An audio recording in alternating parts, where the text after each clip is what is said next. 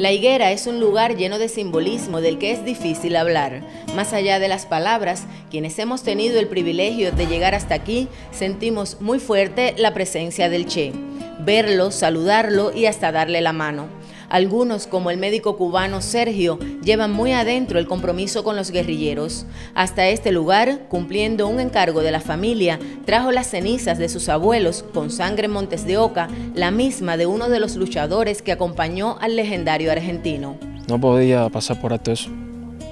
Y además rendirle homenaje al más grande internacionalista, como Che.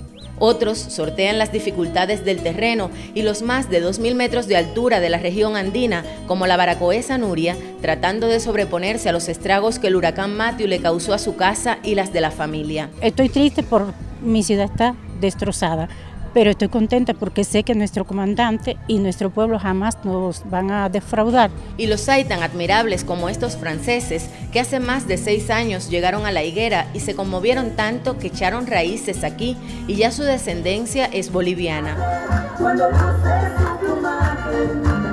Dos granmenses laboran como parte de la brigada cubana en la región. Aquí es muy conocido como San Ernesto de la Higuera.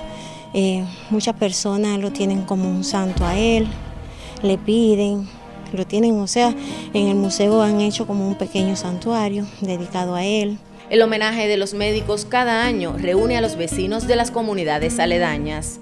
Justo aquí, en La Higuera, le fue otorgada la condición de hijo ilustre a varias personalidades, entre ellas el ministro de Cultura de Cuba, Abel Prieto.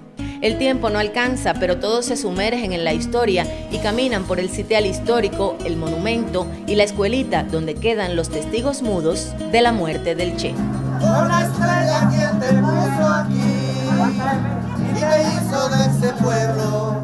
Desde Bolivia, Yorkiel Mirabal, Rey Villa y Lisette Márquez, Sistema Informativo de la Televisión Cubana.